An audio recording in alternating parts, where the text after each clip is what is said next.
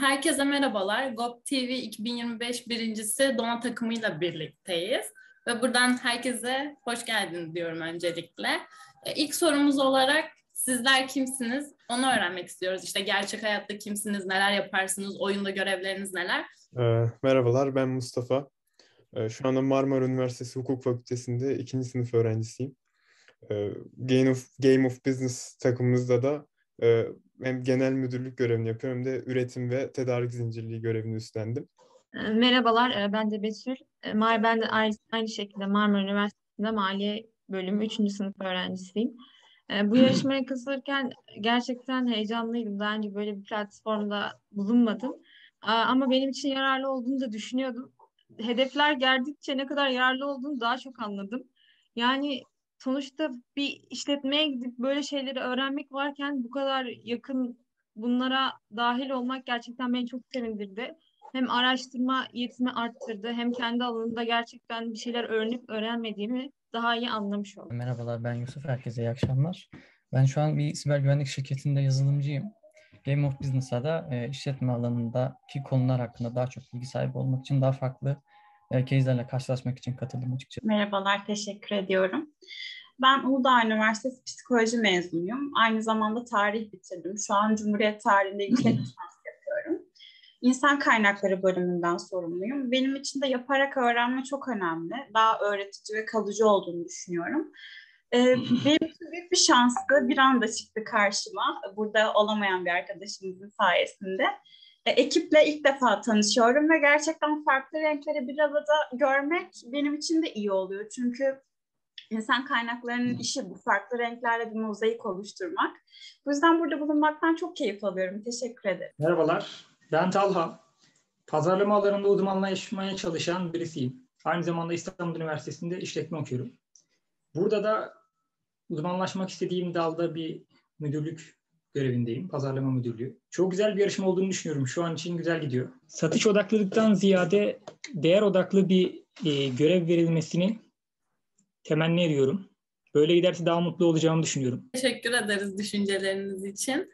E, ikinci Rica soruma ederim. geçeyim ama siz bunun cevabını bana göre verdiniz. Ama ek yapmak isteyen varsa tabii ki dinliyorum. E, Game of Business'ta olmak sizin için nasıl bir duygu? Neler hissediyorsunuz? Ee, bizim takımımızda çok gerçekten Ayça da bahsettiği gibi e, çok renkli, çok farklı kişiler var. E, bu farklı düşüncelerin, farklı yapıların bir araya gelmesi bize e, ekstrem bir vizyon katıyor. Aynı zamanda Game of Business'la beraber e, artık teoriyi pratiğe dökme şansını elde ediyoruz. Bu da bizim için oldukça e, güzel bir avantaj. E, bize Game of Business'ın katkısının olumlu yönde olduğunu düşünüyorum. Burada aslında bence en önemli şey ekip iletişimi üzerinde deneyim kazanmamız. Yani burada e, hepimiz mezun olduktan sonra çeşitli şirketlerde çalışacağız ve bir ekip içerisine gireceğiz. Onu daha önceden burada simüle etmiş oluyoruz aslında.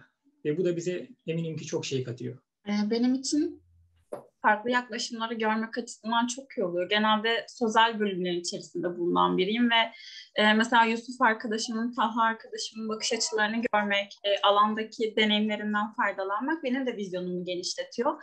E, verilen görevler e, ne kadar hani Talha için içinde olduğu için böyle ona m, daha alışıldık gelse de benim için alışılmadık. İşte bitcoinlerle uğraşmak vesaire hani e, biz takım toplantıları da yapıyoruz da ben böyle terimlere de maruz kalıyorum. Benim hazinem gelişiyor. Onlar da bir sözel bakış açısını görüyorlar. Onlar için de iyi oluyor. Dediğim gibi ben bir mozaik olarak yaklaşıyorum bizim takıma ve güzel şeyler çıkacağına inanıyorum ilerleyen işlerde. Takımınız, Dona takımı nasıl oluştu? Ve sizin takımınızı sizce farklı kılan özellik nedir? Hikaye şöyle başlıyor. Ben ilk önce Instagram'daki postunuzu gördüm. Ve yarışmaya hani katılabiliriz diye düşündüm ve e, fakat tanıdığım kişilerden olmasını istemiyordum. Ve sonra işte bir takım oluşturma arayışına girdim. İşte bazı yerlere ilan vermeye çalıştık. Ee, işte gelen kişilerle mülakat yapmaya çalıştık. İşte elediğimiz oldu, kabul ettiğimiz oldu. Sonra daha sonrasında oluşturduğumuz takımı bozup tekrardan yeni bir son halini getirdik takımımızın. Ee, şu anda e, açıkçası bu, bu takımın içerisinde olduğum için çok mutluyum ve çok kendimi gerçekten şanslı hissediyorum. Ee, süreç açıkçası hani İK'cıymış gibi hissetmemize neden oldu.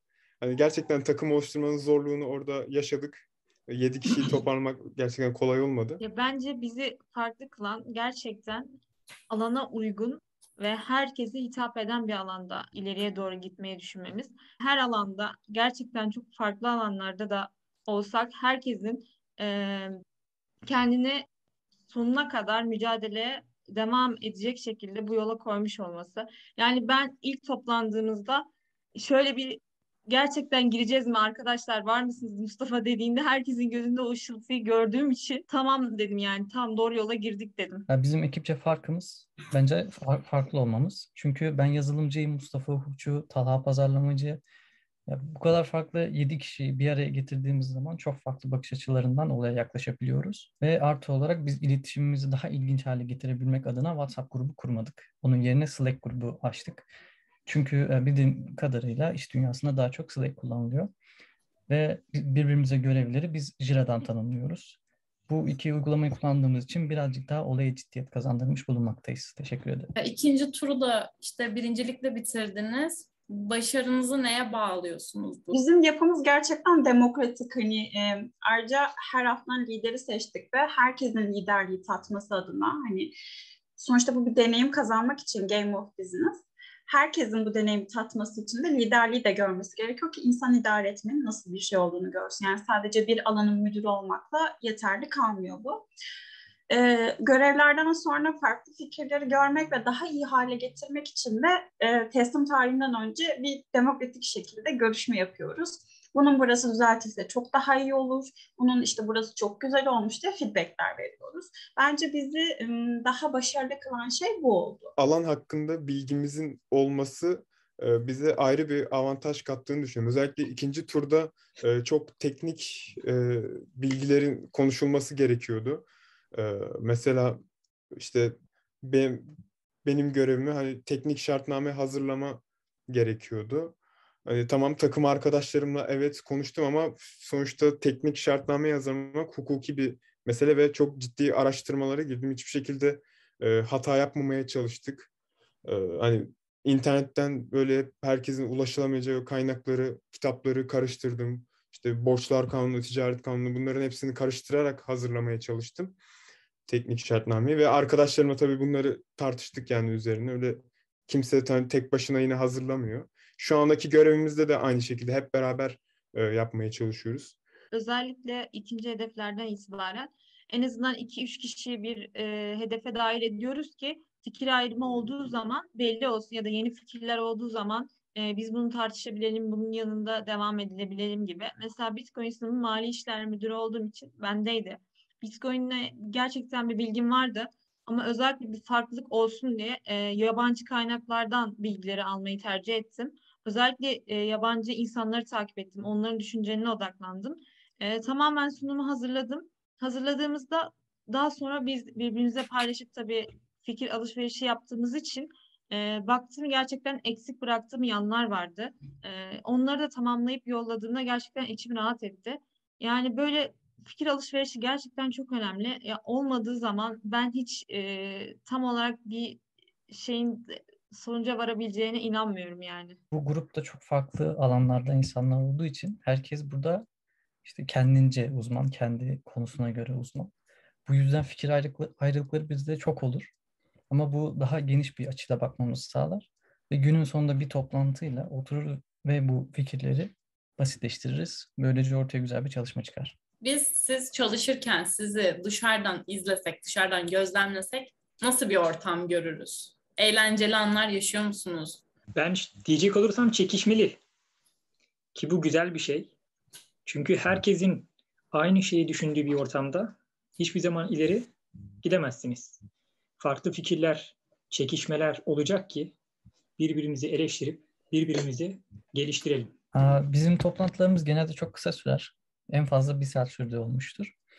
E, toplantıya başladığımız zaman zaten muhtemelen yabancı birisi katılsa kimin yönetici olup olmadığını anlamaz. Çünkü birbirimizi çok güzel yönetebiliyoruz, idare edebiliyoruz.